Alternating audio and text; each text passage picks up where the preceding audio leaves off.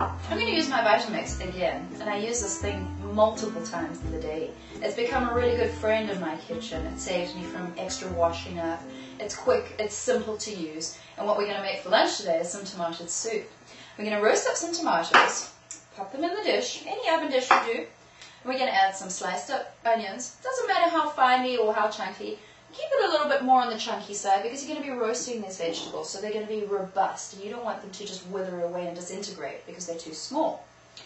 I'm going to add some garlic cloves. Now the trick with this is keep the skins on. Just add them straight into a dish.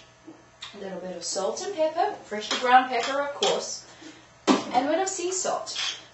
Then I'm going to add a little bit of olive oil onto that. Don't be shy with the olive oil, it's good for you. Some bay leaves, and voila, into the oven. Mmm, delicious. Our tomatoes are caramelized, the onions are golden, and now it's time to put it into the jug. Now I've taken the garlic and I've squeezed it out of the skins and I've put it back into the dish. I've removed all my bay leaves. And now what I've got is a bowl to put under my jug as I pour all these beautiful vegetables into the Vitamix jug. Now you remember what I said. This is an easy dish. It's from oven to blender to bowl. Now I'm going to whiz it up a little bit first, and then we're going to add some fresh basil and some goat's milk cheese, and then check the seasoning and eat it. Easy as that. So just start. And I'm going to add my fresh basil in through the top. Oh, look at that steam. Yeah. And then I'm going to add some goat's milk cheese. The goat's milk cheese is optional, and you can add it if you want a little bit of a creamier soup. Just pop it in like that, and I'm going to turn it. And there you go, soup in minutes. Let's dish this up and see how it is. Oh, look at that. Now if your soup's a little thicker than what you want it to be, just add a bit of warm water to it, and there you go.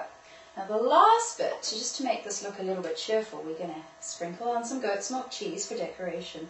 And also, as it melts into the heat of the soup, it just oozes in. So, I've made my soup, I've rinsed out the jug. Now I'm going to chop up some parsley. Pop it in like that, and again. Pour that through the strainer.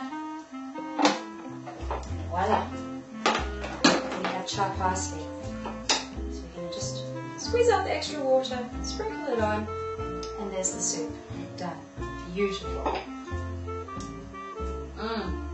Steamy, creamy, delicious. I am so happy with the soup that I made in my Vitamix. I've made smoothies, I've made soups, chopped up herbs, and it's all using fresh produce and of course my Vitamix. Vitamix, remember the name.